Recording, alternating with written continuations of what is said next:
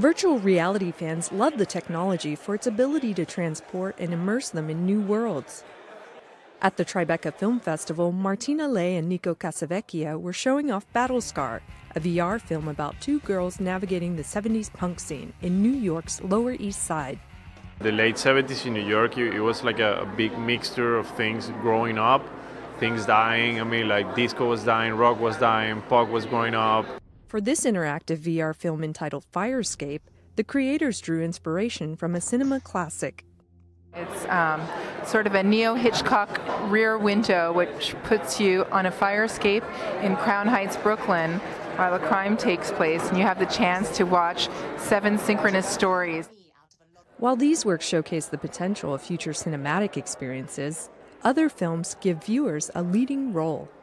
Hero puts you on the ground in Syria with the ability to walk within scenes and touch physical objects that correspond to what you see. When a person realizes they can actually step around, they can actually lean on a thing, they can reach out and touch a wall, they can grab a piece of rebar, it's a powerful moment. This, for me, is really the birth of a new format. So says the director of Jack Part 1, a retelling of the children's fairy tale Jack and the Beanstalk.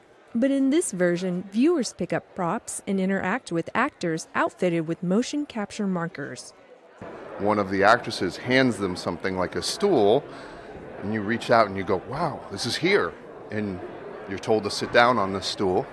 You're like, wow, I can actually sit down on an object that's being represented in virtual reality. The new format is taking VR experiences out of the living room and into new and unfamiliar environments, and it can take some getting used to. Some people don't dare to move, to touch, or just respond. They're like, like, why don't you talk? Filmmakers predict these location based experiences will ultimately become a new way to go to the movies. The art is ahead of the tech for once, and that's where it gets fascinating because we need to push things forward to be able to do that kind of story on a larger scale. It's a problem filmmakers are glad to have. It's like a dream come true for a filmmaker to uh, be able to explore a new medium that has no defined language. This is uncharted territory, like you are really exploring something and making the boundaries as you go.